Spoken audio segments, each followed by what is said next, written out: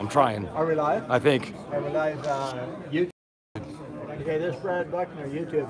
Um, out there, all the people that are out there, go to sharpensbest.com, take a look. There's lots of different products. There's lots of things that I can sharpen. Uh, uh, YouTube sharpens best. There's about 3,400 videos. There's a whole bunch of sharpening videos, uh, probably around, I'm guessing like seven, 800 uh, sharpening videos.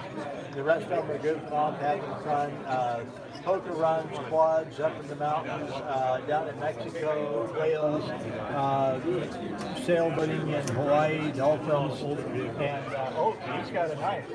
Oh, So let's do a live. Let's do a, a live uh, test and sharpening.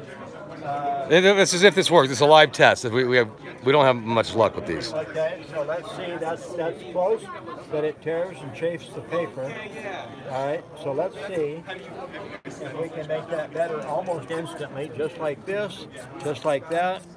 Come back this way, out that way. This, this, this, this, this. Whoa, just like that. Let's see if that made the knife noticeably better.